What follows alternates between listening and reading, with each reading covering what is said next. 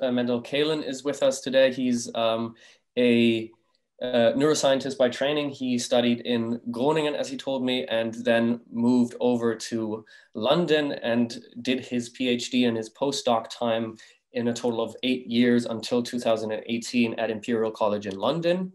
And uh, that under the supervision of David Nutt and uh, Robin Carhart Harris. Um, all, both are names that if you haven't heard them already, you should definitely check out alongside Mendel himself. His work uh, is really truly impactful on, on everything that Mind is also interested in and um, that Mind is also uh, doing at the moment. And um, but since 18, 2018, Mendel has uh, shifted his focus fully on the project of Wavepaths, with, which he's going to talk about um, today to us. And um, yeah, this is something that that he is building um, with full focus. So uh, I'm not to even try to to uh, explain that in a short moment because um, that's that's his thing. Um, so yeah, um, before we start, I just want to uh, take a, a, little bit of time to explain the agenda. So Mendel has prepared a 30 minute talk for us. And after that, he has offered, and I think that's, that's actually really amazing, he's offered for all of us to try the Wavepaths um, experience itself. So we're going to um, be offered a deep listening experience. And what that means is we're going to close down the Zoom call after having received the instructions from Mendel. And we all receive a link. Um, and then we switch over to a different browser. And I believe it's smart to use Chrome, right? But it really it doesn't matter. But yeah, it doesn't really matter. Yeah. Okay. I can explain okay. the, uh, the, the technical details the end as well, just to remind people. Okay, perfect, yeah. perfect. Um, and then uh, we have a, about a 30 minute experience, I think, all everyone individually. And then we're going to come back to the call and then we're going to do the conversation of the Q&A. And please feel free to submit questions during the talk, during the experience. Uh, it's probably um, not really feasible because the experience is, is a full focus thing. But if there is something that comes up, uh, feel free to, to shoot a question into Slido. And yeah, then we have actually uh, almost an hour, I think, of Q&A, depending on, on how many questions there are. And that's, that's it for now. And now it's 10 past six, and I would love to now hand it over to Mendel. Thank you so much, Alessandro. And hello, my past neighbors as a Dutch person. Um, grew up in Drenthe, the northeast, and moved to Groningen when I was 18 and studied there initially biology, marine biology, and um, pivoted to neuroscience very soon, really out of an interest in consciousness. And then after that, um, my interest in psychedelics started to grow and grow. In 2011, I moved to London, and that's where really my um, my research career began in psychedelics and psychedelics and music. And what I was thinking of, and, and thank you first of for Alessandro, Alejandra, and Max for uh, not only inviting me, but also giving me two hours uh, to, to, to connect with you all. Um, thinking about what most likely would be the best use of this time is rather than me talking for two hours, which I can easily do if I'm not careful, um, I like to time box myself for 30 minutes and give a bird eye overview of the current research on music and psychedelics and what WavePaths, my organization, is currently doing and developing. And then rather than only talking about music, let's listen to music. Let's let's let's all have an experience of the music together, uh, which could also be a nice break after all the information that has been shared. And then exactly, I think we have about an hour then for um, conversation. And there are many different things we can explore there. The, the topic of music and psychedelics is huge, and it's also very early days. Um, I'm, like Max was explaining to me before we had this meeting, often cited in um, music protocols of psychedelic therapies, um, my research at Imperial at least. Um, but it's also because there's very little research being done at this moment.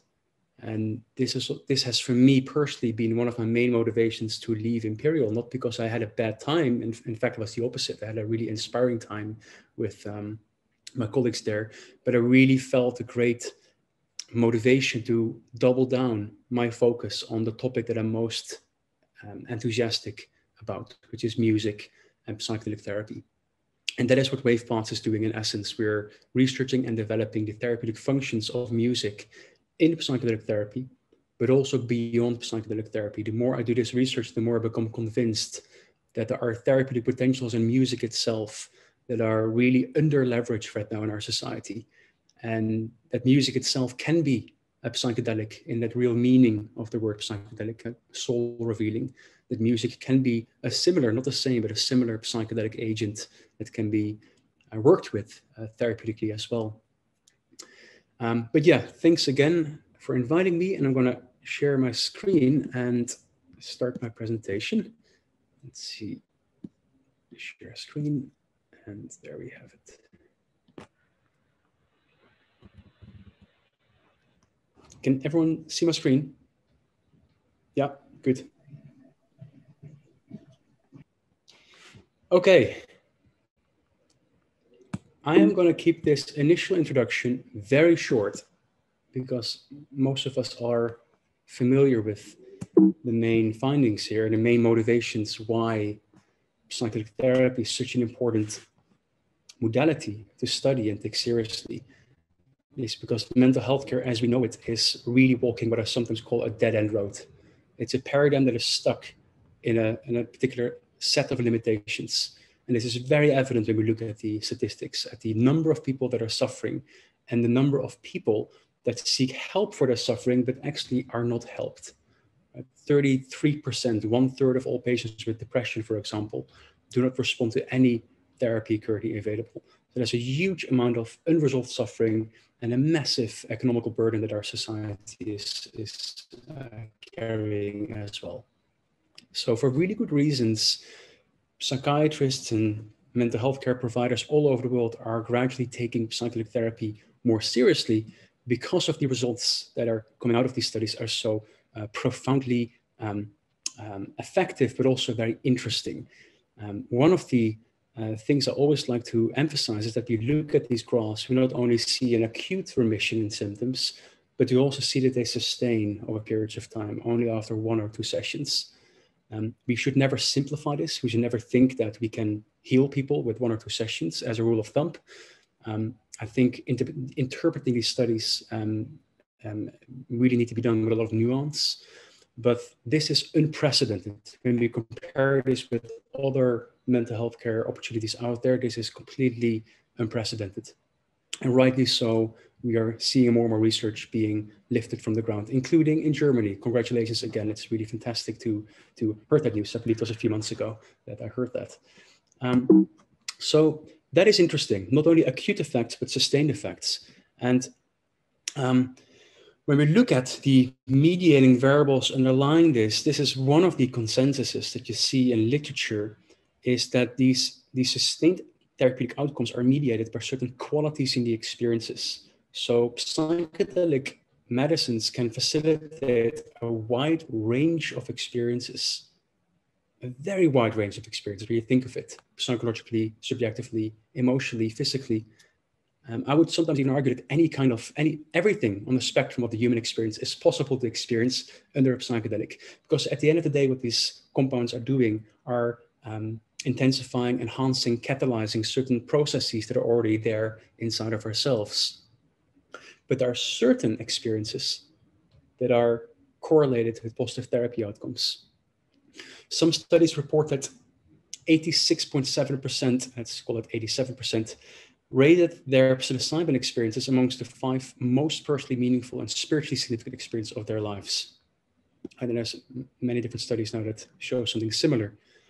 And how I sometimes like to phrase this is by shifting away the focus on peak experiences or mystical type experiences, which these studies show correlate to positive therapy outcomes, and, and, and, and argue for an umbrella term. When we look at all of these experiences, what they have in common, in essence, are that they are personally significant. So I'm going to offer to you in, in this slide, in the coming few slides, is a framework to understand how psychedelic therapy is such a different paradigm from other mental health care therapies out there and why this is significant. So when we look at these studies, we see that the occurrence of peak experiences or mystical type experiences correlated positive therapy outcomes. So one of the arguments I'll make today is that in essence, we are talking about personally, personally significant experiences. And one way to look at this is by, um, by arguing that the more personally significant that experience is, the more impactful that experience will be on one's identity. And the reason why I, I like to open this, um, this presentation with this argument is because the title of this presentation is Experience as Medicine. Um, the more I looked into this phenomena of experiences as an important foundation, not the only foundation, but a very important foundation for the sustained changes, the more I realized that actually there's nothing mysterious going on here, that this phenomena has very solid roots in how we currently understand human development from a neuroscientific perspective.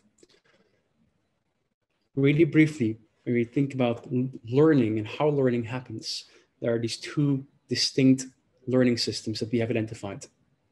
One is concerned with explicit learning, recalling explicit um, memories, um, things like recalling semantic knowledge or symbolic knowledge or episodic memories, events from the past.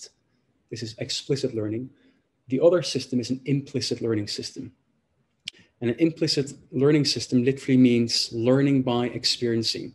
Implicit learning drives subconscious memory formations that have a huge impact in how we perceive ourselves and how we behave.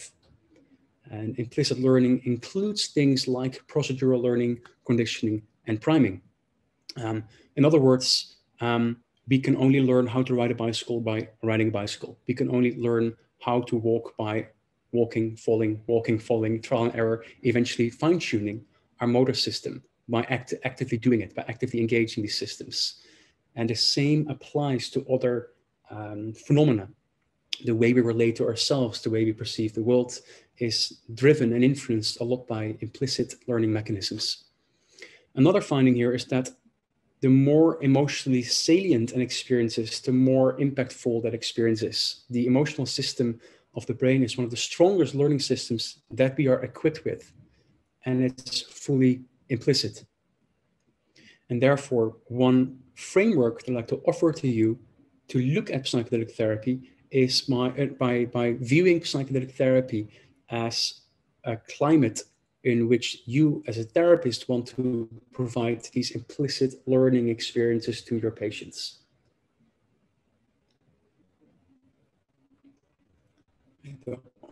In the same way that we can only learn how to ride a bicycle by riding a bicycle, we can only hope by hoping. We can only learn to love ourselves by feeling the love for ourselves, feeling that compassion for ourselves. We can only learn and that, that we are worth to be loved by others by experiencing that directly as well. Um, so there's much more to say about this, but for the sake of the, the conversation, I'm going to accelerate a little bit and bring in the, the topic of music within this framework that I just provided. So first of all, we like to acknowledge that psychedelic therapy is not pharmacotherapy. We're not giving drugs and expecting people to be better.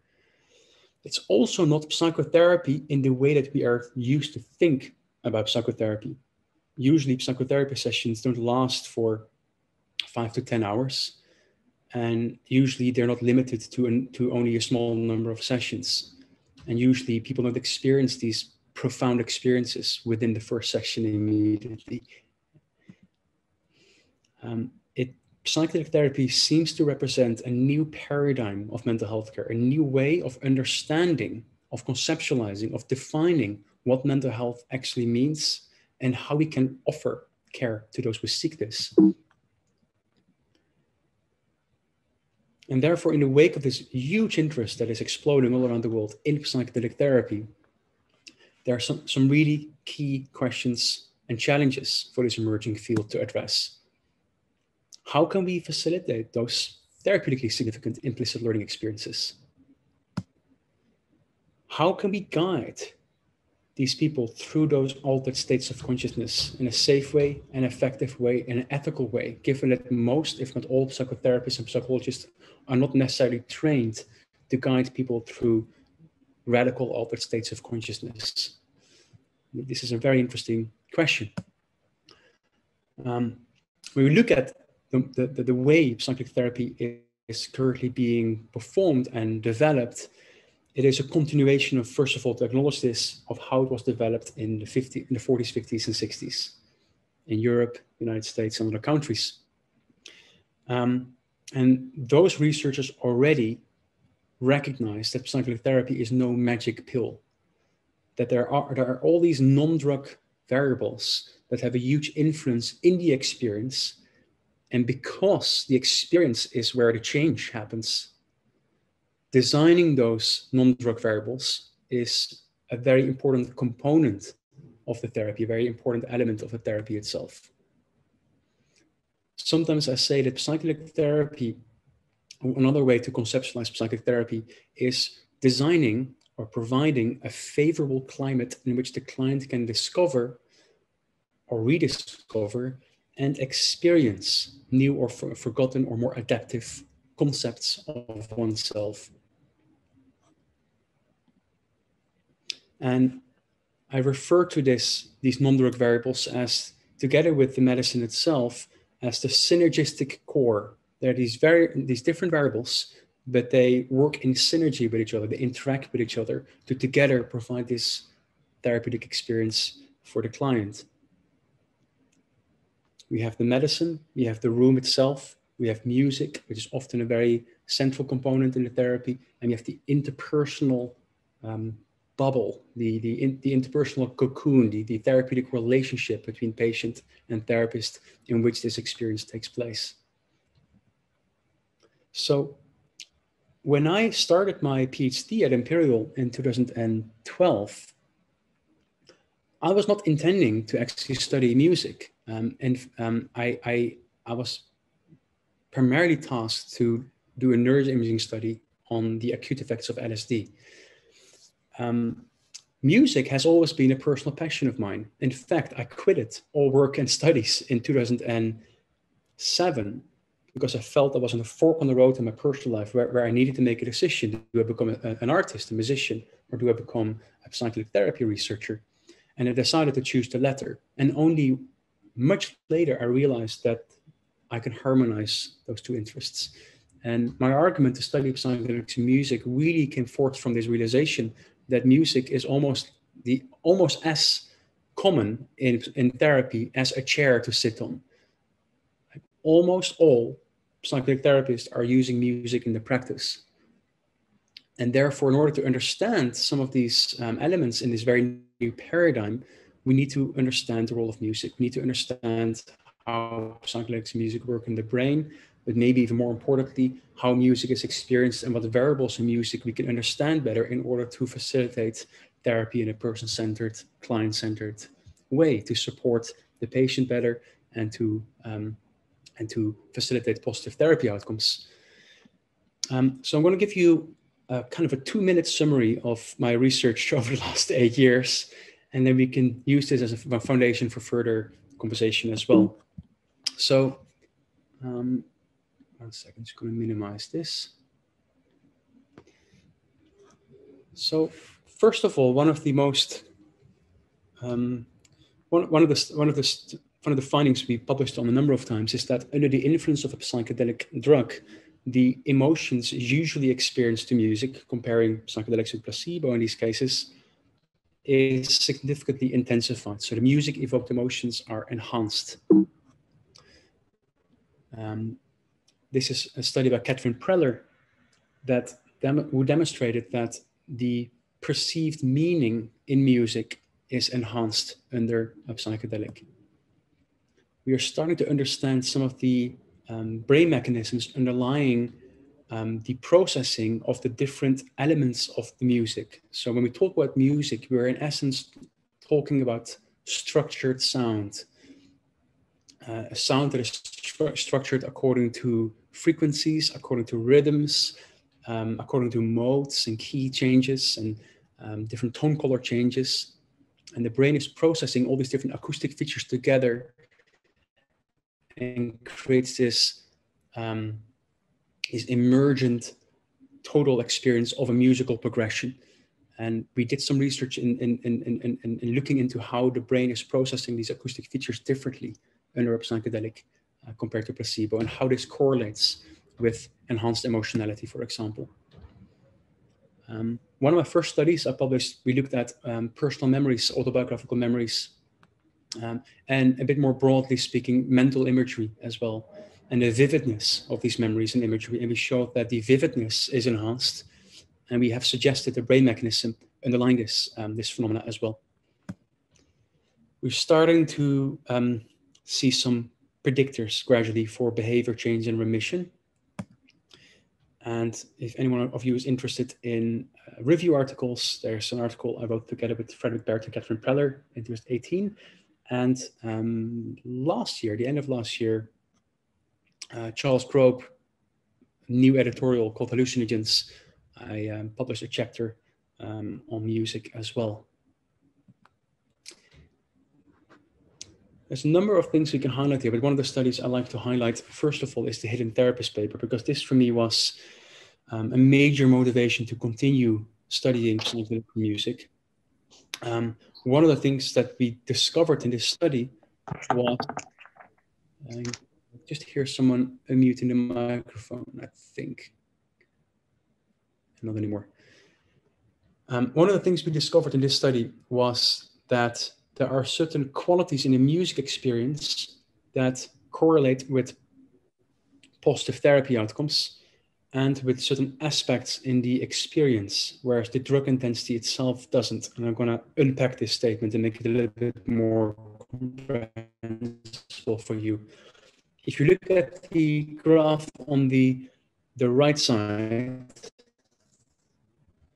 um, on the x-axis, you see scores for depression, a questionnaire called the Altered States of, of Consciousness. I'm just going to do a check-in because I heard some sounds and I got a warning that my internet is unstable.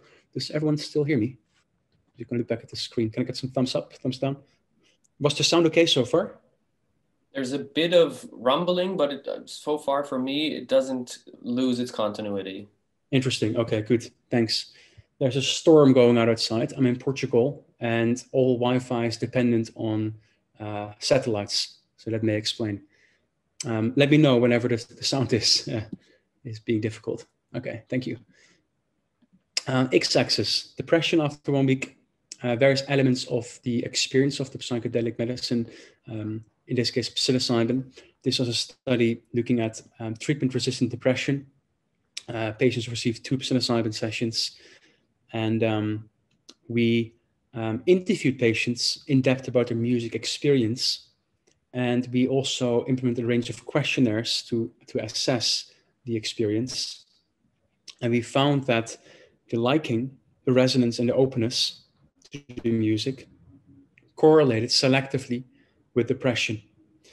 Um, if I would ever do this again, if I ever would publish a study again, I would most likely simply report one, one variable here because liking, resonance, and openness correlate heavily. They're one factor. Liking of the music um, speaks for itself. Resonance means the degree to which the music um, is um, in harmony with the internal experience of the patient, the degree to which the subjective experience conveyed by the music is um, matching the internal experience of the patient. So often, patients describe, for example, a union between the music and oneself, or a great sense of flow between one inner experience and the music openness meaning an, an openness, an acceptance of the influence of the music. Those elements in the music experience correlated with depression one week after, whereas the, the sim, simple ratings for the intensity of the drug didn't. We also look at these musical variables. You see that they selectively correlate with peak experiences and autobiographical insightfulness, whereas they do not correlate with other elements in the experience. This study um, was the first to empirically validate some of the original motivations by therapists to include music, meaning music as a tool to increase the likelihood of certain experiences to happen in psychedelic therapy. Like I mentioned in the beginning, there's a wide range of different experiences one may have with these psychedelic medicines. And music is one, maybe one out of different tools that can be utilized to facilitate experiences that have therapeutic meaning, therapeutic value. Um, we may return to this finding later on. Um, just to make it a little bit less dry, here I printed some of the um, some quotes from the interviews that I've done with um, the 20 patients in this study. Really for the experience or very disruptive for the patient experience. Um, if there's one thing I like to highlight in this presentation and this meeting together is that music itself is not necessarily good. in fact, one of the things I became really convinced of is that music can do great harm if it's not chosen wisely, um, because there's such, an, such a significant influence on the acute experience. And one framework to look at this is this framework of resonance. I'm going to give you some examples of patients with so-called high personal resonance with the music and who did really well afterwards, and the opposite. So when you look at these examples on the left side, you see um, experiences like um, being carried by the music, uh, music being the vehicle that moved me. Um, it felt like it all fitted the experience. The music drove the most beautiful experience of my life. I feel the music in large part drove a lot of the experience. I did feel as if I was being held by the music. The music was spot on.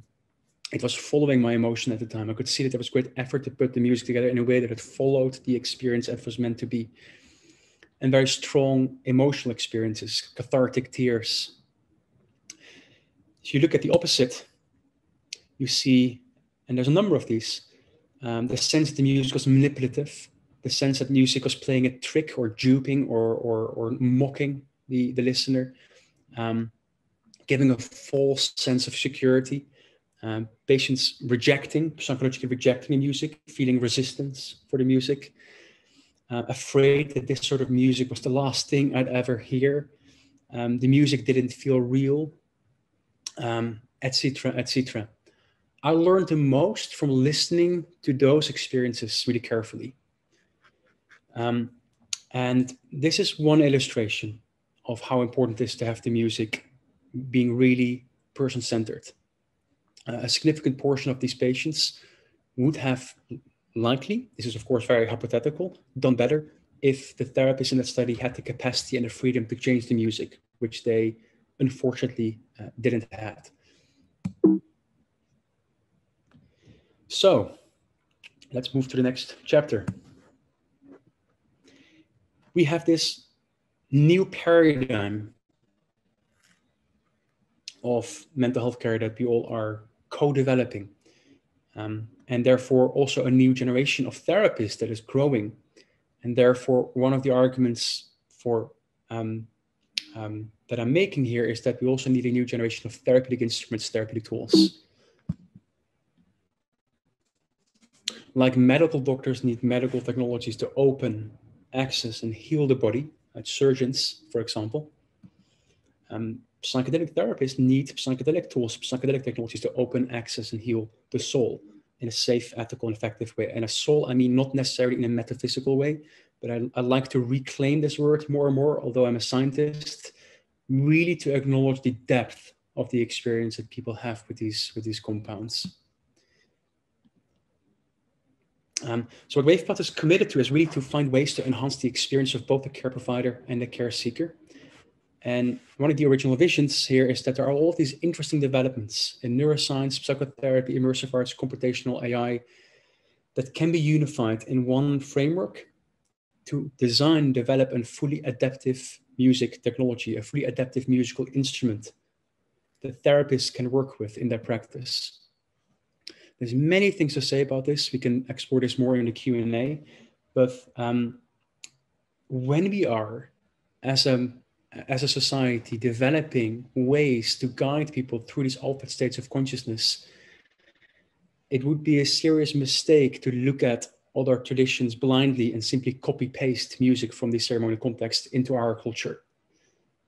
Music is often those sacred songs are very um, culturally um, contextualized, um, and and and there is a real need for us to think what instruments are appropriate for us to use um, for our culture, for our times. Um, not to say, I want to be very clear about this, that there's nothing to learn from traditional and ceremonial use of psychedelics. I, in fact, am really interested in, in, in all of this. I lived in the Amazon jungle about 14 years ago for quite some time, experienced ayahuasca myself um, quite a lot, uh, and various other ceremonial uh, uses of psychedelics. But what we are seeing there, when you look at traditional use of psychedelic medicines, is that the shaman, the medicine man, has a toolkit of instruments, not necessarily always musical instruments, but a number of musical instruments and other things as well, all there to influence the, the setting and the experience of the, the person who has the journey. And we believe that there is a, a modern equivalent needed of the traditional rattle or drum of the, the shamanic traditions. And this is one of the things we are committed to build is an instrument for this new generation of therapists. Another way to look at this is that psychedelic therapy is complex and it's novel for many of us. Music is very complex as well, um, let alone the person centered use of music, adapting music to each and every individual and each and every individual's process in the moment. But that idea in itself can be daunting and frightening for many therapists we believe that we can simplify all of this um, and, and that therapists can in fact work with music in a person-centered way with the same ease that they would change the temperature in the room with a thermostat or switch the light in the room. So that's that's our our our, our aspiration.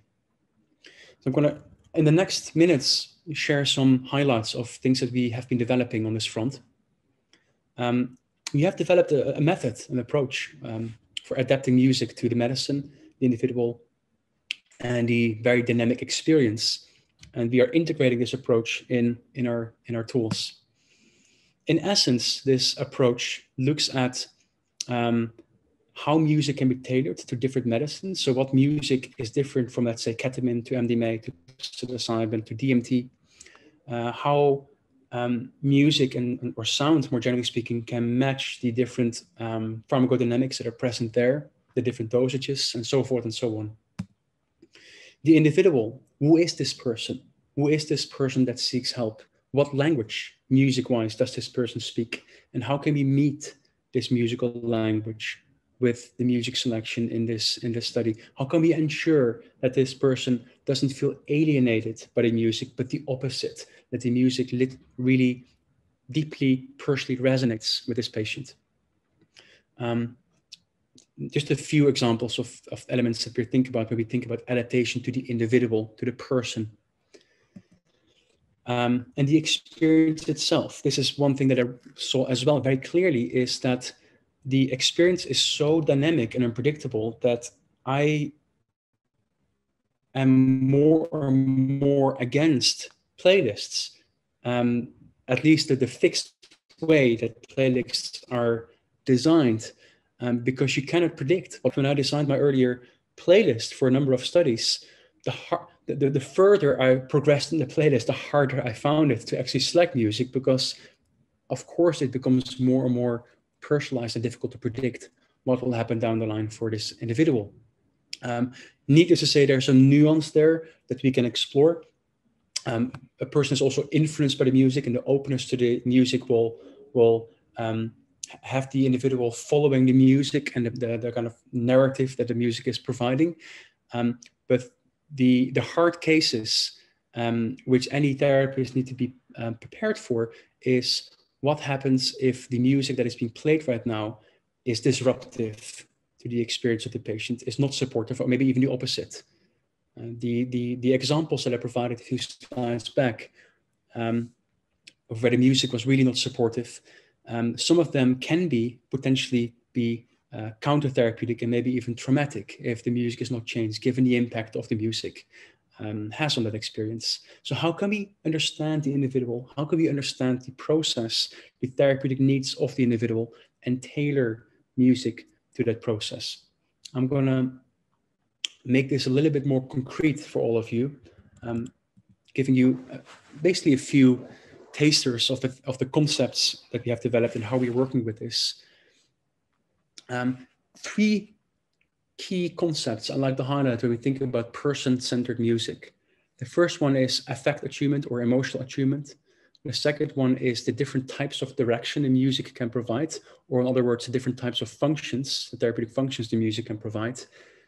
And the third one is the, the degree of, of, of, of that direction, the depth of that, that function.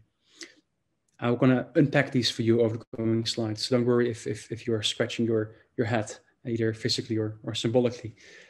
Um, first one, emotional attunement, affect attunement. This is not a term that we came up with. This is coined by the brilliant psychologist Daniel Stern, who studied mother-infant interactions for um, most, if not all, of his career. And he coined a few really interesting ideas in his research looking at nonverbal communication between care providers and, and infants.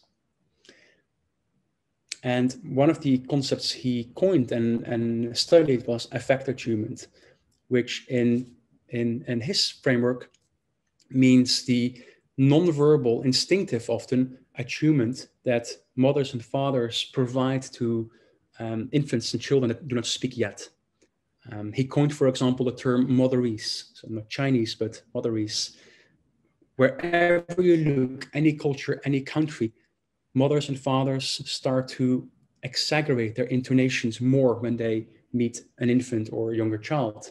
Why? Because we instinctively know that this little human being may not speak verbal language yet, but is innately hardwired to respond to melodies and tone colors in a particular way. Um, we are born literally in a musical world. We are, when we are born into this world, literally thrown into this sea of sound waves. And we are trying to make sense of that. And we are hardwired already at birth innately to respond to certain um, sonic properties and to learn very quickly what tone colors are, for example, what tone colors are linked to the voice of my mother or my father or that person. Um, babies are, per definition, musical creatures, which is very interesting. Um, so one of the theories I've been developing is that in a psychedelic state, for reasons we can speculate on and go into, we become a bit, little bit more non-verbal in the way we um, communicate and perceive the world, and we become more sensitive to those elements of non-verbal communication, like musicality, like the musical feature, features in the way we communicate, but also music in itself. Um, so affect attunement, I'm going to pause myself for a moment, pull myself back to this slide.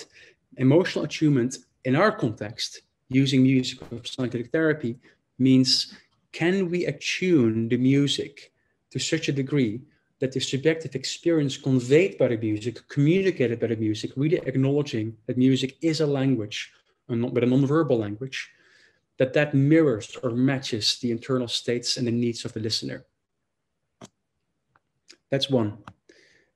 Um, the image on the right end is an example of how we're doing it in our software. I made a little print screen where you can, as a therapist, relatively easily switch the different atmospheres, we call them. And these atmospheres are characterized by different emotional qualities.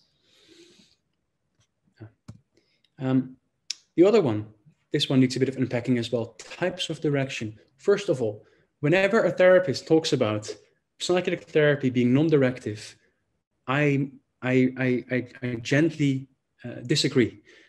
The very fact that we give patients a medicine that makes them more open, uh, vulnerable, suggestive, one might even argue, and then invite them to listen to emotionally evocative music with their eyes closed and with a headphone. Right? It's providing quite some influence in the experience itself, providing quite some direction in the experience itself. For me, the um, conversation is not, the meaningful conversation is not, is psychedelic therapy directive or not? Um, I think various forms of directive therapy are very important. In fact, I think some patients need more directive therapy these days, but that's a whole um, conversation in itself. But can we take more responsibility for the kind of influence that we provide as a therapist in each moment? Can we acknowledge that whatever we do, whether we play music or not, as a therapist, always provides some form of direction, either by posture, by the tone, the tone of our voice, um, the, the, the, the, choices of our words, right? they're all influencing and providing direction within the experience in some in one way or another.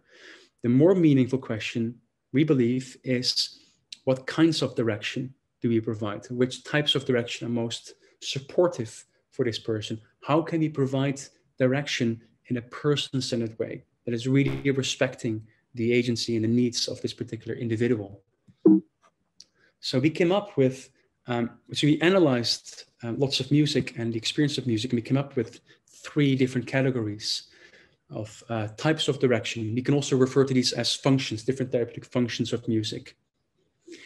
And the first one we call the soothing uh, um, function. The, um, the, the music here is purely concerned with promoting safety, calm, and reassurance. The focus of this music is, is purely on positive internal resources. It's free of tension, it's free of conflict.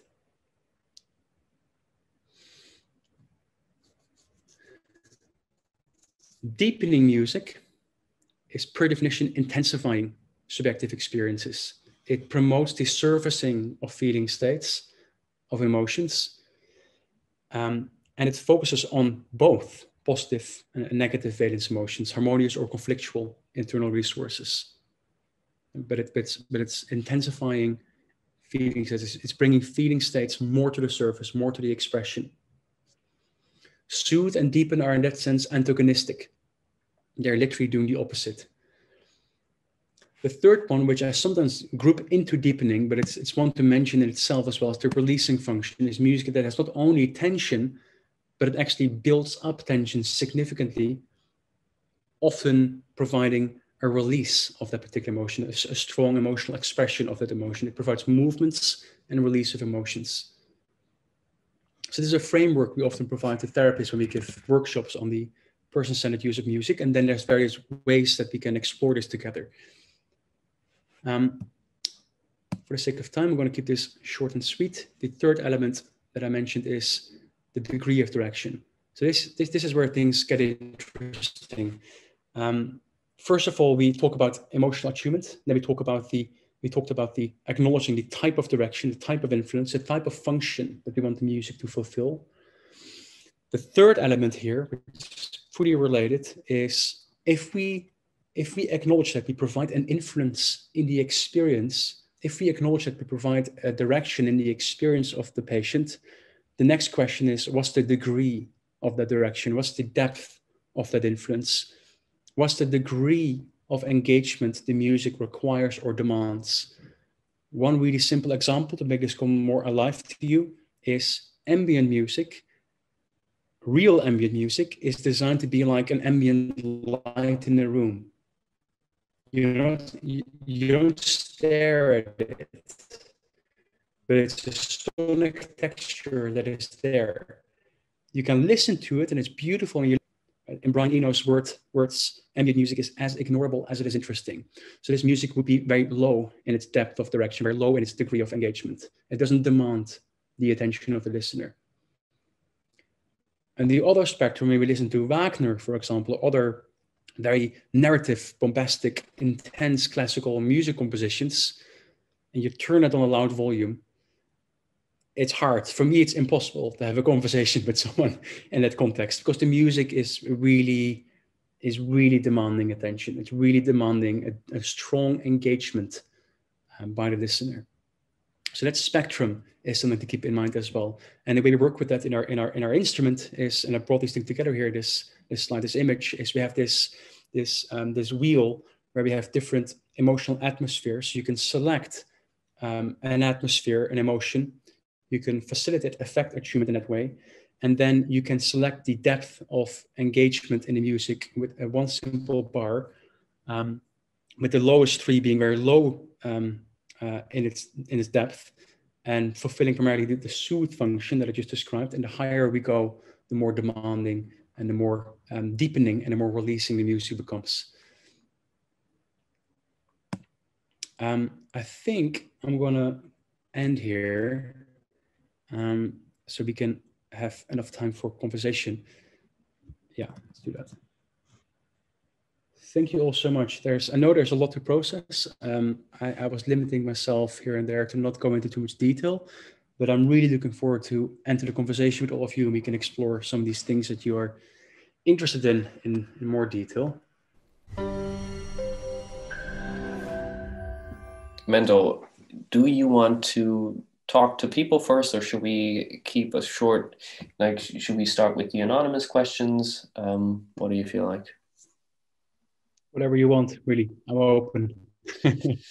I think I would uh, like to get some of the people in first because now the experience is still in in the in the soul, um, and I think an interaction would be great at this moment. And I'm just going to go from like essentially from most uh, most salient. Uh, we're going to start with uh, Toby, and if Toby is back with us, um, unmute yourself and ask. Yeah, I'm back. Um, I was actually a bit disappointed when it ended because I was just kind of starting to relax into it and lose the sense of time. And I would have wished that it would have been longer, but um, overall it was great yeah, I felt quite um, torn as well that I needed to end it so so soon. I agree. We yeah. did you include now something? You didn't include some tense tension building up and then release thing, right? Okay. A little bit, yeah. So what I what I did as a taster was give you two different atmospheres. We refer to them. One was more emotionally moving. Um, the other one was more is more designed for more meditative like environments. Um, the one that was more emotionally moving, we had at some point some cello orchestra coming in. We refer to that as our medium level of intensity. And we have high and we have extreme. Uh, in numbers, we have 12 different levels, and you listened up to number five. Yeah, we, we have music in the pipeline that is very, very intense. Yeah.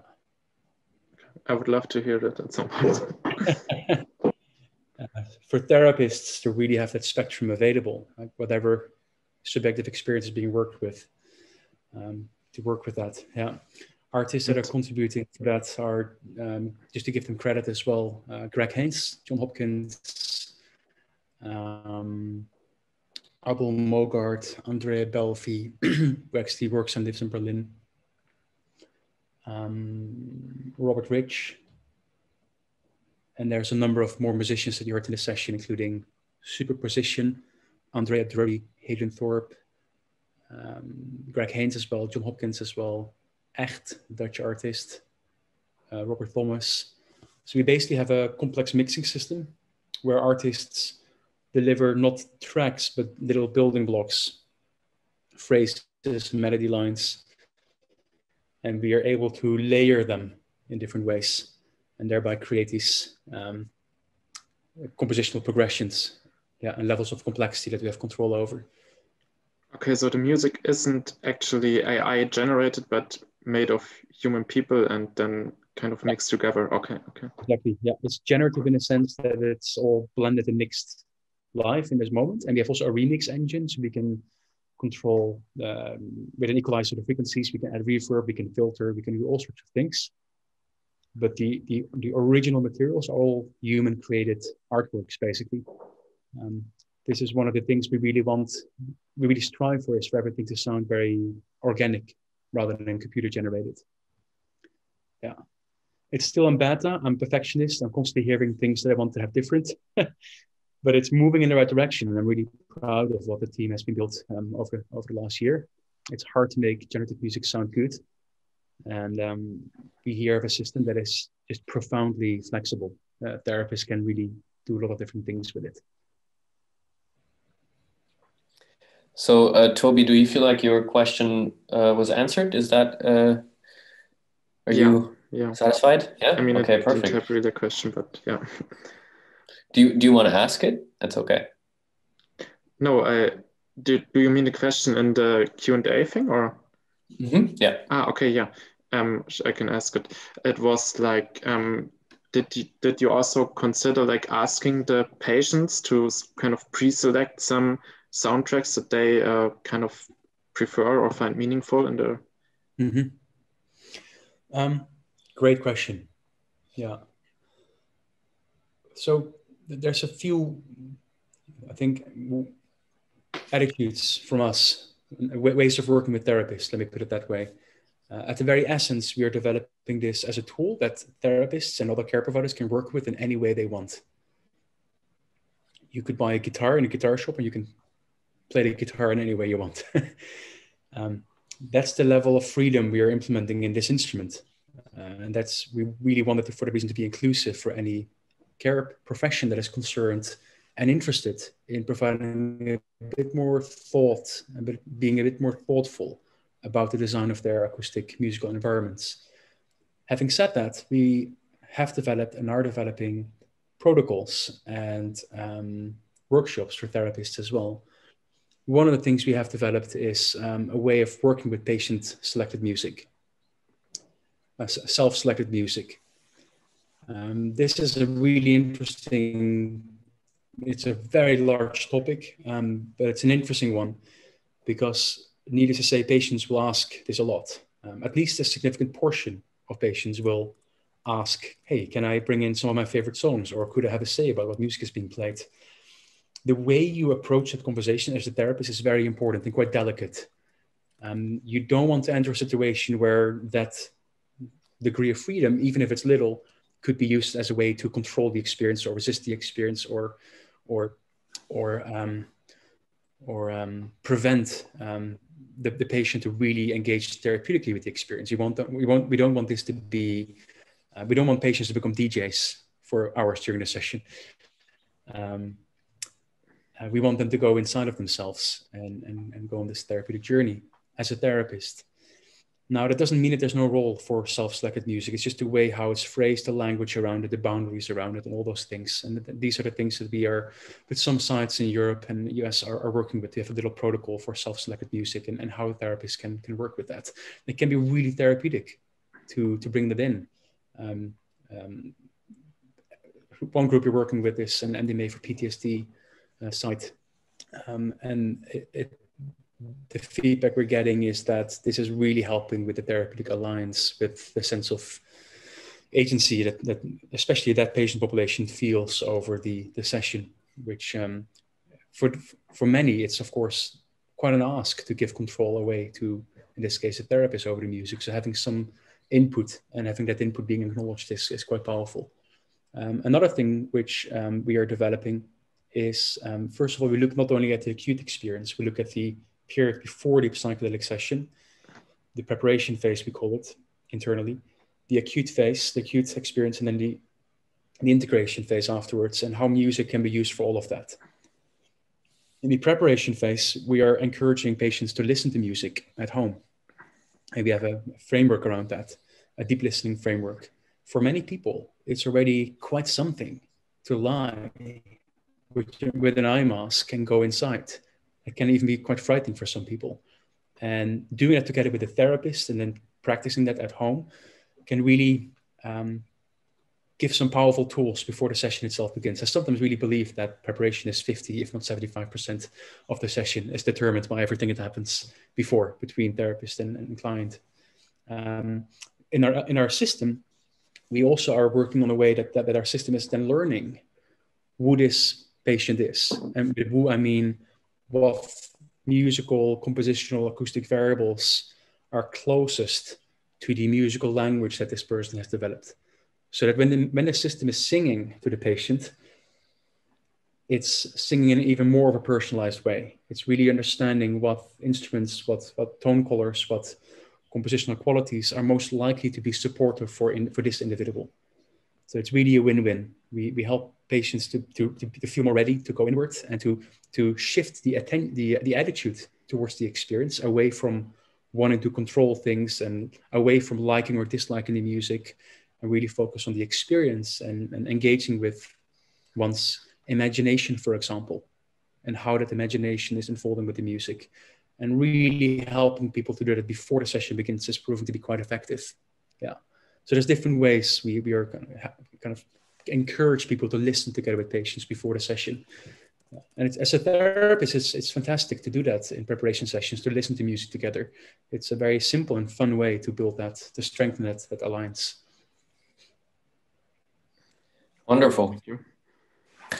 Um, just a quick thing. In case the meeting closes after 8 p.m., we're going to set it up again and we're going to keep on talking here, just so you know, but we don't expect it to. But if, if that would happen, um, just come back via the same link. Um, okay, that's just technicality. And I would love to then move on to actually I think we can we can answer two questions at once. And it's it's Gregor's question and also Sam's uh, second question. It's about stereo and headphones and the entire um, yeah technology around it. one. take it away. Uh, may I uh, specify a little bit about the question? My, so first, super impressive tool. So it's super excited to see uh, that something like this is put together. It's quite something. I was wondering, uh, since this WavePath is stereo, if you consider to include spatial audio, mm-hmm. like informed by the traditional Shipibo shamans who the way they deliver the icaro, they also vary the distance and uh, or a source where they, where they sing from and to my personal experience, it seems to be very uh, effective to create a more immersive experience. Yeah, uh, short answer is absolutely yes. the more uh, in-depth answer is we started that way. Um, I was just having this conversation with Max Alessandro and Alejandra before this meeting began, and I was sharing with them that there is this paradox that we all are encouraged to work more virtual these days, and there's some real benefits to it. But I really believe that the world is too virtual. And some of you may know that we started with physical spaces in London. We had a physical location in London before we focused on software development with the intention to have a permanent location to really double down on things like 3D sound technologies and how they, can be used in um, therapeutic practices of all sorts. So in that space, we had 21 speakers for one person and it was a beautiful space. Um, and yeah, we, we did research there. We, we, we first of all showed that we can, not with music, but comparing that with all that's happened, the degree that people feel that, yeah, they're, they're they feel disembodied, they're literally on this journey. Um, and also that those peak experiences correlate with improvements in well-being afterwards. So I think when we are interested in using music as a psychedelic, which we are really deeply interested in, the the quality of the music, the sound, and the way that sound is delivered and offered, and the whole framework around it, really, the whole ritual around it is is, is essential. Uh, and that's that's definitely one of the things we can learn from, from many things from traditional use of psychedelics is, is the ritual and the, the deep engagement with the music in, in the moment. Yeah maybe just as a side note, so it's possible to create this 3D or 4D sound also with two speakers and headphones to create this immersive yeah, soundscape. Yeah. There's, there are ways to do that. Yeah, we're looking into that. It's just simply at this moment not the highest priority for us when we are building this platform. Um, we can create beautiful immersive experiences with good stereo headphones. But yeah, we, we are very aware of, of the possibilities on, on that front. Yeah. Is this something you're working in yourself as well?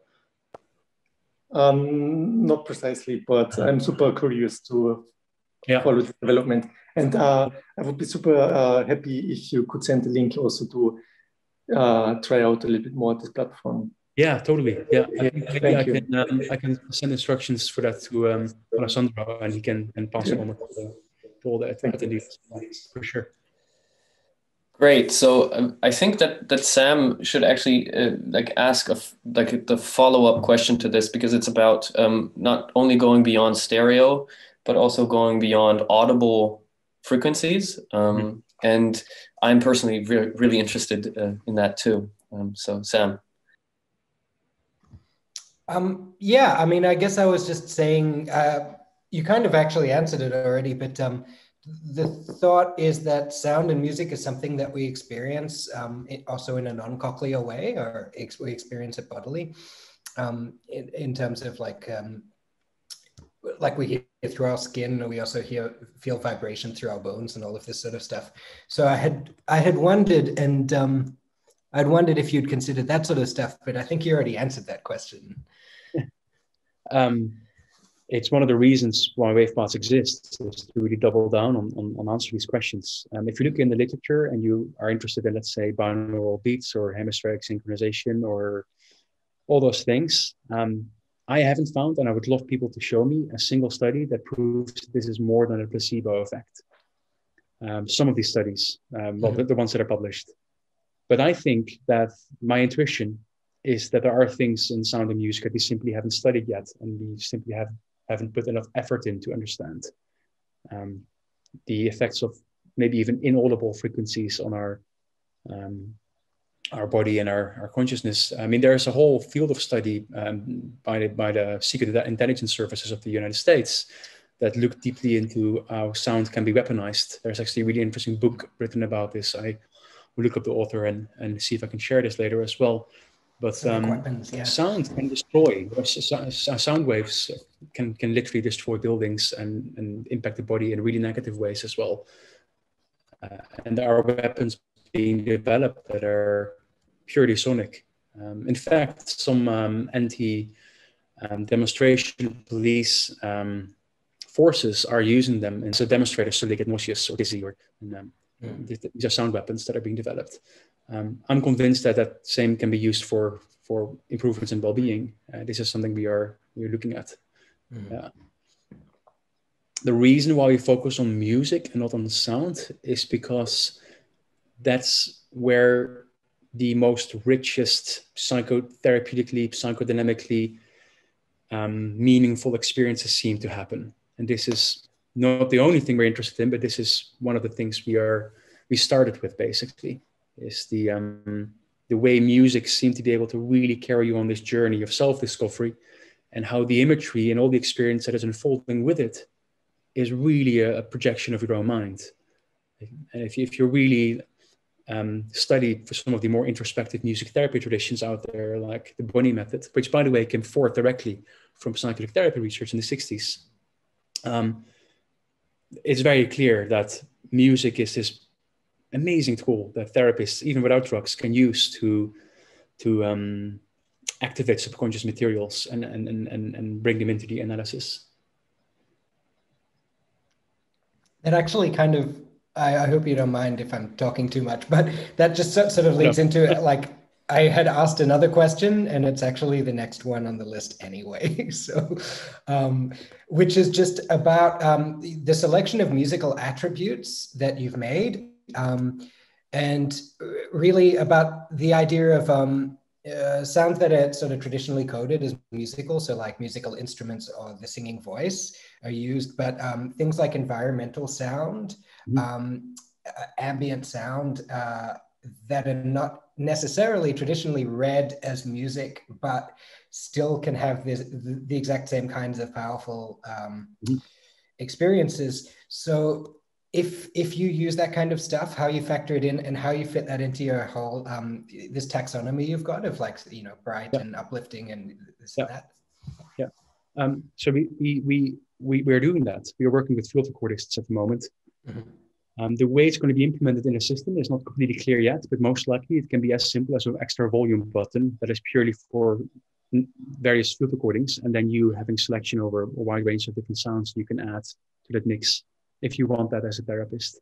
Yeah, and again, I, am constantly saying what the therapist wants, but we are really our, our core objective here is to make person-centered use of music really simple and intuitive.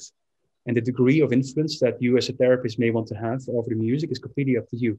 You can select the variables and, and trust the system and let it let it do its own thing and simply change it at moments if you want it to change. And you can facilitate those changes really simply. Um, or you can be more active um, actively engaged with it as you play a musical instrument, basically. Um, and, and, and what happens in those variables is more and more informed by predictive models we are, we are building. Um, what, what medicine is being used, what variables in this individual will be useful for us to assess what music will be most supportive during the session. Um, what are the pharmacodynamics of the of, of the, the, drug experience? What themes does this person bring in the therapy session? How can they be reflected most likely through the music for this person? And there's a whole repertoire of uh, of stuff that we are exploring at this moment, which is very excited, um, exciting. I'm really, really exciting about excited about this. Um, the, the question how universal these things are is is interesting. Um, I really think what we will most likely find, what we are actually already finding, is clusters of what music people have been exposed to through upbringing, to their cultures, as being the, the strongest predictor for what um, what resonates with them. But then there are certain elements in sound that are more, also to one point in my talk, more innate, more evolutionary, ancient. Uh, and there's some studies that also demonstrate that. Um, you look at tone color, for example, and the degree of dissonance, the amount of dissonance in tone color, this is universally perceived as negative valence, which is interesting. Yeah, as threatening or, or angry or, or you name it. Um, increase in tempo are, are also, at least in those tribes that are, of course, studied, perceived as um, threatening or, or da dangerous. Um, there's a few things that seem to be linked with um, a very ancient evolutionary um, ways of processing sound. And I mean, we can define music in various different ways, but I often like to view music as an invention that hacks our innate sensitivities to sound in various ways and is able to build these, these very intricate experiences out of it. Uh, but mu music is really, in that sense, a technology. Um, of course, there's musicality in nature um, that we can perceive uh, um, and, and, enjoy. But um, instrumental music of all sorts is a very interesting innovation that we have created. I am a field recordist, by the way. Uh, for, for 15 years, I've been recording sounds um, all the way from rainforest to um, um, drone sounds of the local van or freezer or car park or you name it. Yeah. Beautiful. Thank you. Um, all right. So the next question is, I think, mine. So I'm going to ask it myself. So I was wondering about uh, how you want to, yeah, incorporate feedback from the patient uh, and from prior um, studies or prior sessions into um, what the AI is generating for the next session, maybe, or even within the session. So I'm thinking about um, direct physiological recordings from the patient, like heart rate, or even uh, deeper stuff that's coming from the cortex, like EEG, and also um, or body temperature, noises that the patient makes, um, mm. or just plain movement and if that is something that you yeah. uh, are trying to incorporate. Yeah, all of that.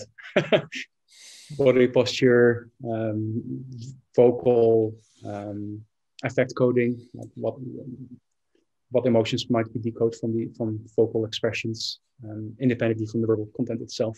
Um, body movement, heart rate variability, breathing. We're really interested in breathing. Um,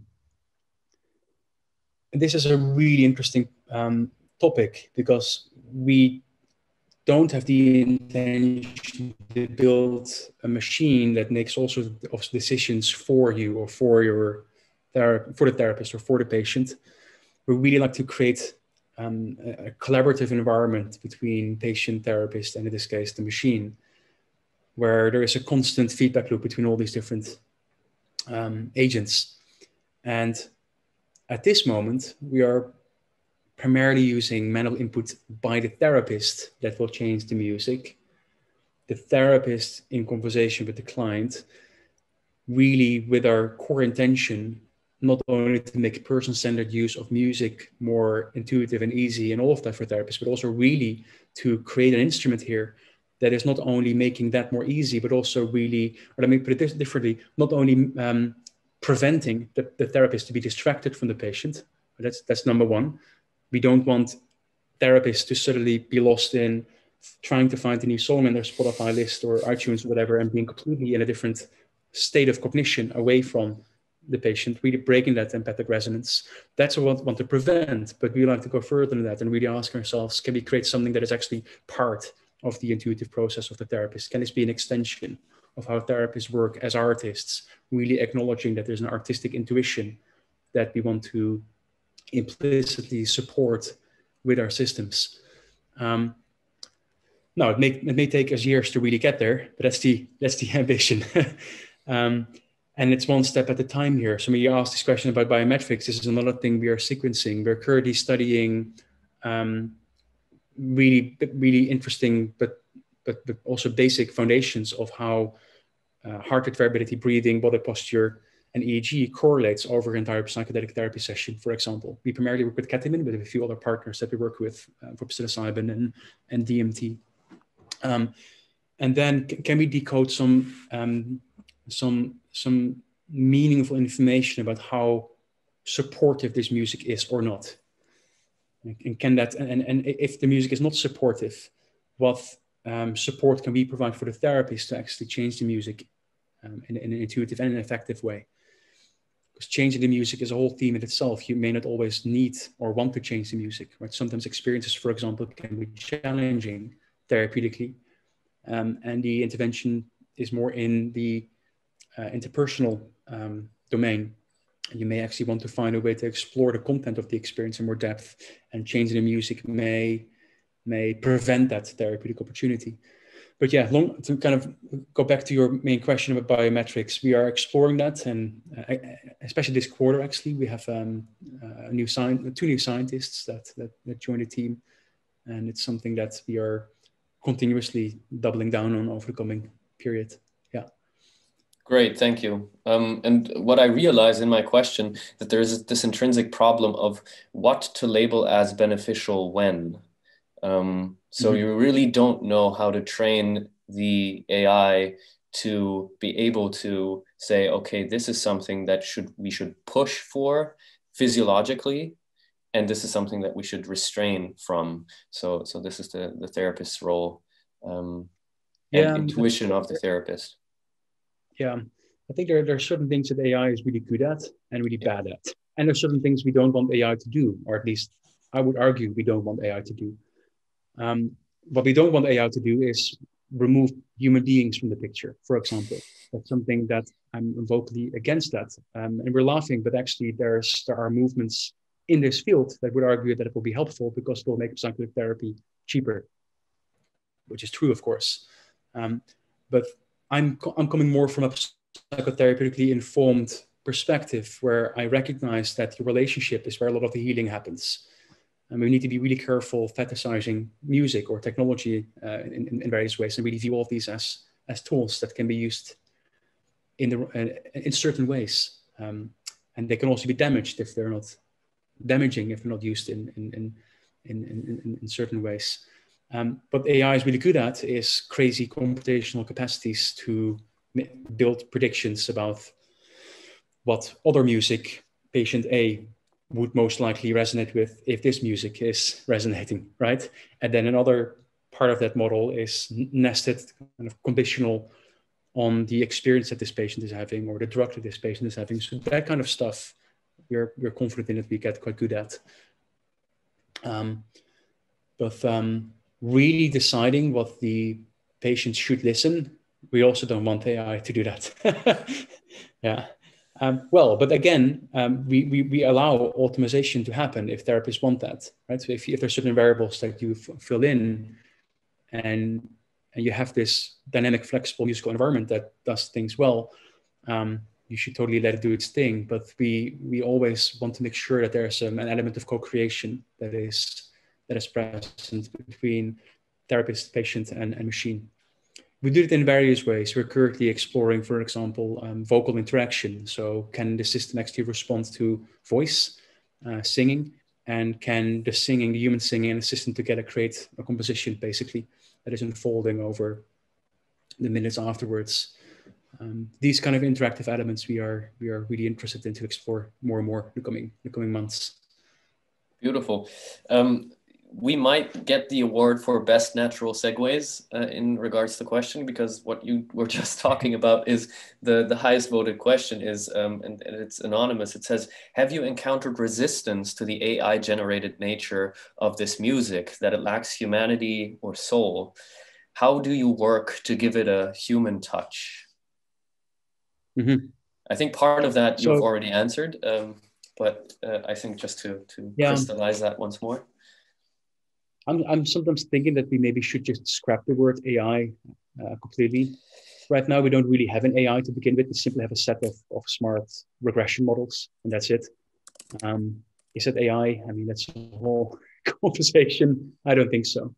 Um, I um, we focus on adaptive music as a term more and more for that reason. You build adaptive music tools for therapists. Um, but there's still a wider kind of question there, and that is what's the transference, right? When it comes to AI and technology for the patient, for the therapist, how does it impact the um, the, the, session? Um, we don't want to um, necessarily, like some people would do, anthropomorphize the technology itself or give it human qualities or, or lifelike qualities. Really want to view it as a tool um, that you mm. can engage with. Um, what we um, what we do in terms of music is um, working with musicians, and this is another reason why sometimes I'm pushing back to this idea of AI generated music because it's not. At least for us, it's not. It's it's it's built by talented musicians and we simply create an environment where all of those molecules can evolve together. But the molecules are human created. The molecules here being various musical source, various, various source materials, various musical source materials. Um, and that is expanding and that is actually, and that is expanding automatically um, soon as well, because the, the, the, the musical source materials are interacting with each other and create new materials within the system So it's really becoming this evolving musical world at the moment, which is really exciting. Um, but it's all human materials. Well, well, it's human created materials. Some humans, of course, work with some human artists work with with, with synths and, and you name it. Um, we are interested in maybe training, let's say, neural nets on some music in order to provide timbre transfer and see how we can modulate timbre in, in tone color in, in interesting ways. Uh, so there will be definitely those kind of AI components that we're working with um, as well. We did some experiments on that front, and it all sounds really crap. So we decided not to not to continue, yeah, for the time being. All right. Um, so we want to keep uh, like the, this this short now. So I think we should um, maybe do a, a, somewhat of a more quicker touch and i actually found a way to to like uh, put together or sum up uh, some of the questions because one that is also very uh, shows a lot of interest by by people here is um, and there's another question that that fits into that or is the same question that's just from the other side there's a question about the continuity of the experience so that there is no break between these um, these different modes that you've shown. Um, and then there is a question about what about the role of silence in uh, hmm. psychedelic therapy, which in a sense is is somewhat the same question. Um, so what's your take on that? Related, So the first element of the question is more a question about the, the flow of the experience, yes. the um, the way the experience um, evolves over time, and the, the second is more concretely about silence itself. Uh, I believe it was Toby who mentioned this um, right after the listening experience that it felt at the moment that you were sinking in, the music was suddenly ending. Right? And that is that is an example of the experience being disrupted. Right? No matter if the in this case even the music was fading out a little bit. Um, in therapy, you want to be very careful with disrupting the experience. Um, um, I mean, sometimes you want to disrupt the experience if you, as a therapist, make think it's good to, to change it with with with, with some forcefulness, um, if people enter acute psychotic states or anxiety or whatever, um, there is a question mark about what the right time is to relate to that and and and and, and, and see if you can change it in, in, in different ways. For example, um, we believe it's very important to have a sense of continuity in the musical experience, um, really to respect the unfolding internal narrative journey, if you wish, over that stretch of time. And our, that's one of the things therapists say about our system that they like is with Spotify or whatever, you need to stop the music and you have these really abrupt changes. And also songs have limited um, uh, boundaries around their time. They, they have a beginning and an ending. Whereas here you can really post kind of stretch things out as, as long as you want, basically, or or modulated in, in various other ways. Now, the smoothness and the continuity of the experience, the flow, is something I was already quite obsessed with when I was designing the psilocybin playlist for Imperial. And there I went into great detail in thinking through the the, the, the shape of the volume fade ins, um, the, the way a song, the songs in this case, work with songs where um, blending with each other, sometimes literally blending with a subtle remix, or sometimes by having a little pause in between your songs and kind of working with the, the, the breath or the, the, the pulse of the, the, the, previous song and then finding a way for that other song to start um, at the right time to really create that sense of continuity.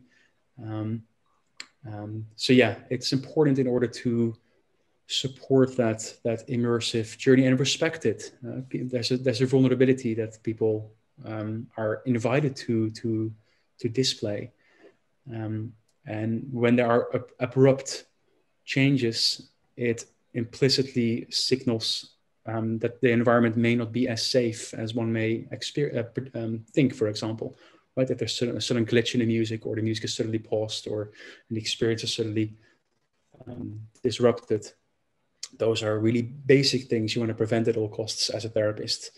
Um, but yeah, I, the, the, second part of the question is very related because I, I immediately wanted to say that, um, even if it wasn't asked, that we should never jump to the conclusion that because music is such a powerful, impactful therapeutic tool, that per definition we should fill sessions with music entirely. I really think that that, that is a dangerous um, idea um, for, for various reasons.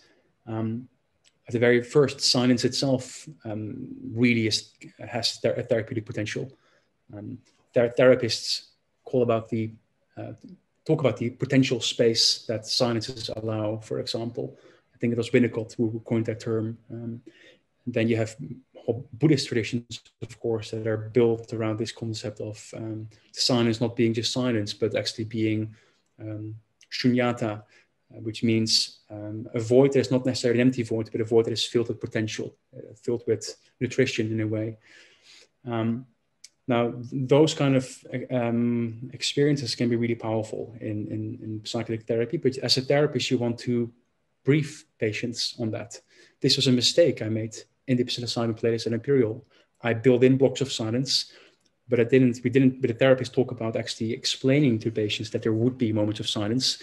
They were in this huge flow with the music, and suddenly, well, not suddenly, but the music faded out, and there was this silence of 15 minutes, and everyone thought that there was a mistake with the music system, right? So that is that's a classic thing you want to prevent at all costs, and it really again illustrates the importance of hand holding uh, and, and, and preparing people um, as much as possible before the session so science, uh, I believe, um, this is very philosophical, of course, but but has a potential uh, in therapy to be really therapeutic. Um, and the other uh, element to my answer to that, that point would be that music, per definition, moves the experience. Music, per definition, influences the experience. Music, per definition, is there to change the experience. And this is what I mean with not agreeing that psychedelic therapy is non-directive. It's directive by the very fact that we play music to people.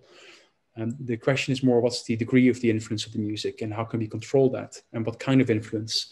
So that's the question as well. Do we need to move the experience? Do we need to provide some movement or change right now with music? And if so, what? And it's, it's not always needed. And sometimes the best gift to a patient would actually be a, a moment of silence. Um, to not have the subjective experience constantly being influenced and molded. Um, there's an. Can I ask? Uh, see if there's another element there. There's a. This is the final point. Actually, there's another thing that is that has to do with saturation of of of the perception of music. If if you have blocks of silence, what we found is that music is really ex- experienced more freshly. It's almost as if the ears open up more after that moment of silence for that music that then, then begins again and there's a new salience that has emerged for the music as well that you, that you can utilize. So, so silence can be utilized in different ways here therapeutically.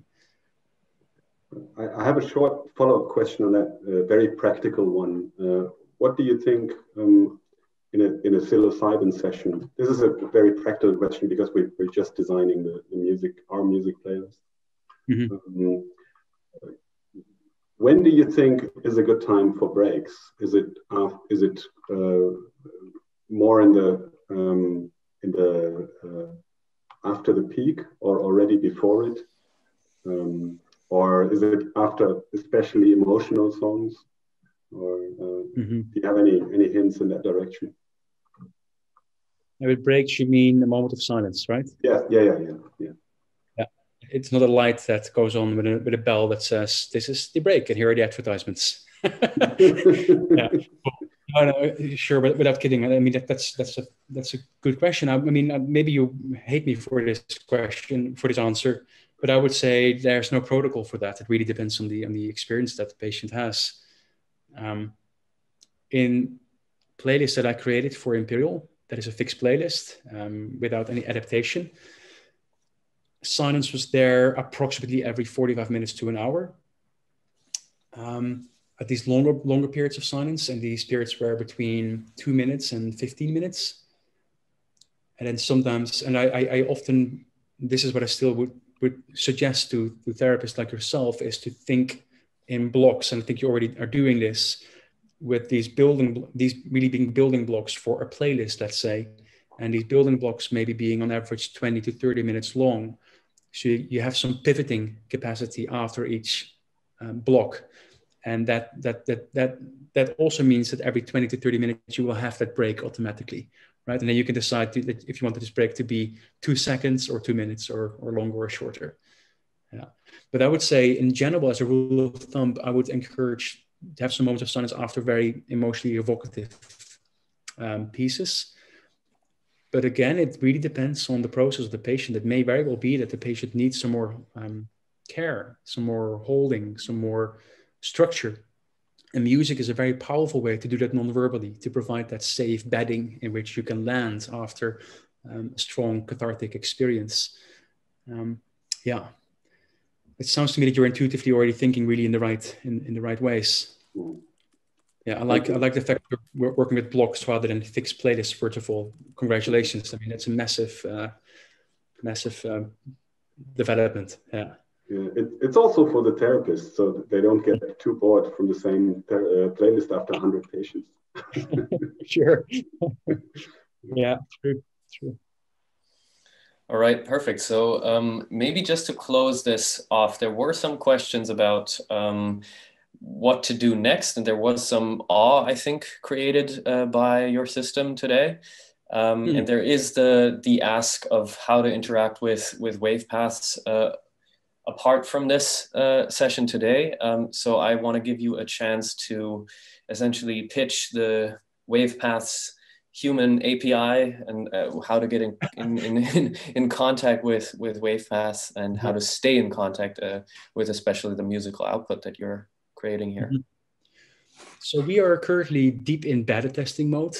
Um, we don't have this system available publicly yet but we are expecting this to be released publicly at the end of this quarter, so the end of June. Um, we have a good number of beta testers at the moment, about 140 clinics and therapists.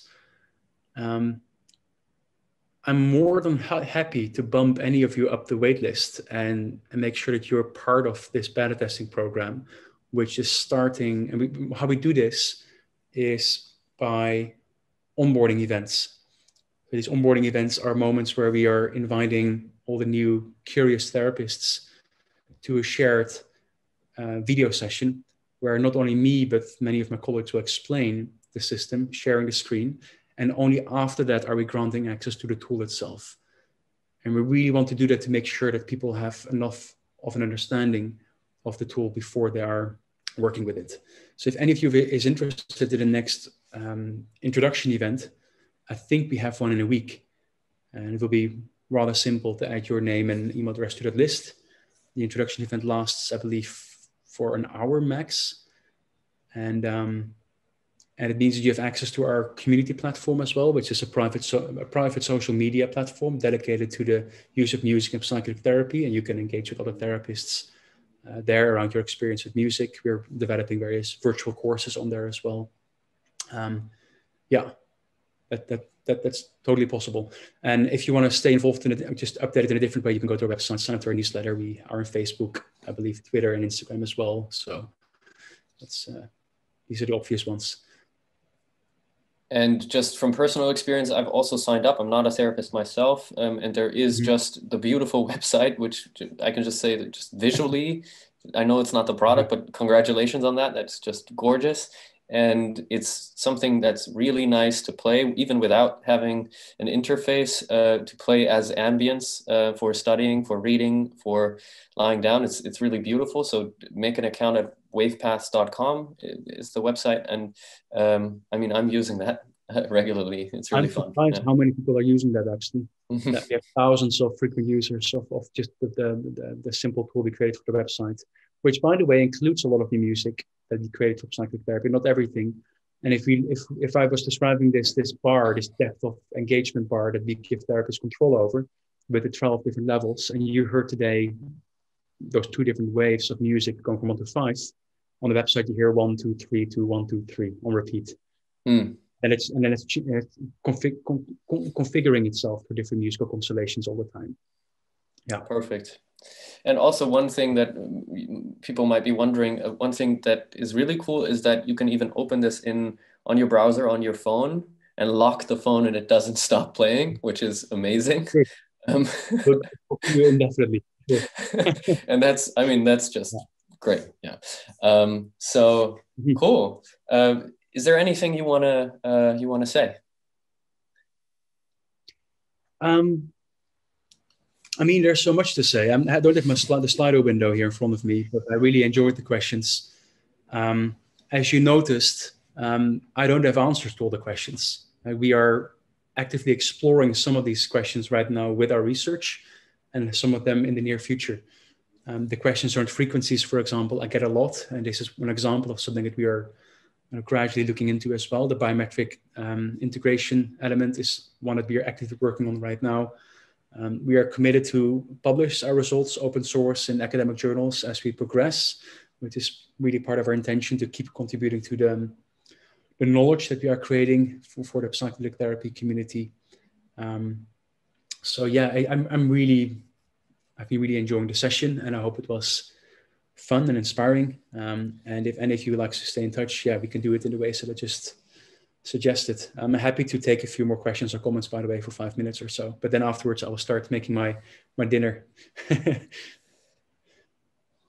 Good. Um, I think that I can also offer um, my connection because I have um, been in contact with uh, WavePaths and I've uh, also been at one of those onboarding meetings without being a therapist. Um, so if anyone has a question regarding WavePaths specifically, you can also take me as the first instance. Um, and if I can't answer that, which will happen, I will, um, yeah, make the contact to, to Mendel and his team. This is what I can offer and want to offer specifically. And then just to you directly, Mendel, um, you've in the beginning said that that uh, you feel happy that we have offered you a two-hour slot, and I just want to give that back to you. You've given us two and a half hours of, of really just super intense and, and, and, beautiful work. And it's a great pleasure to, to have done this. I've, I've enjoyed it very much. And I, I think um, I can see in a lot of the faces that this was a good thing. So yeah, thank you so much. Also thank from you. me, Mendel. It's a real you. pleasure for me as well. Yeah. Thank you for the wonderful evening. You're welcome. Yeah, thank you for this fascinating experience. You're welcome. It's fun to talk. Yeah. Thanks, Alessandro. And thank Thanks. you, Alessandro and Max for this, for moderating this event, and also Alessandro and the art section for organizing this uh, talk experience. It was really cool. It was so easy. So uh, a bliss. Yeah. Yeah. All right. So um, if everyone is allowed to eat dinner. When I, just this is a very, very spontaneous random thought because some people, some of you found the session too short. I'm more than happy to set up a new session that is longer. if any of you wants to have a new musical experience for the evening, I'm more than happy to set it up. I share the link, and um, and you can listen. And I, I think I saw someone being an Abul Mogard fan. Is that correct? Yes. Yeah. Yeah. So I mean, yeah, he's an, um, one of the many amazing artists that I'm super, super grateful for to work with because we are really looking to build a new sound here that is not necessarily fixated in one culture or one one one place or one time. And Abul is one of those artists that are really pushing the boundaries. I can I can definitely play some of his music as well. Um, w- should I do that without turning this into another long monologue of mine? Should I just create a session and share it here? Are there people that are going to use that? Yeah. Uh, sorry, could it be without the um, meditation, like uh, narration, please? Like because I, I would love to listen, but I want to also study, so it would be weird to kind of. sure. Uh, but, but if everyone else is, is fine with it, I don't want to push the minority. Yeah. Um, I'm, I'm more than happy to create one without a meditation. I'm also more than happy to create two, one with and one without. Maybe the best solution here. Yeah. Okay, so in that case, I'm gonna create two links and I will share that here in the chat in about two minutes. Um, can, can I actually ask one quick question? Yes. Uh, I was just wondering for, uh, I am not really an artist myself, but for people who, who make music as well, is there a possibility to be in touch with you if they want to be part of this project? Contribute music. Yeah, because I know a lot of people that m- make music in this kind of more ambient space. Um, mm-hmm. yeah, they can drop us an email um, at careers at wavepaths.com. Okay. Um, at this moment, we yeah we are gradually opening up for pe- people that come in through the inbox. At this moment, it's very curated, to be honest, and primarily me uh, selecting artists that are that we want to work with. But I'm always keen to hear more music that is coming in. So please share this with your friends. It would be it would be a pleasure to have a listen.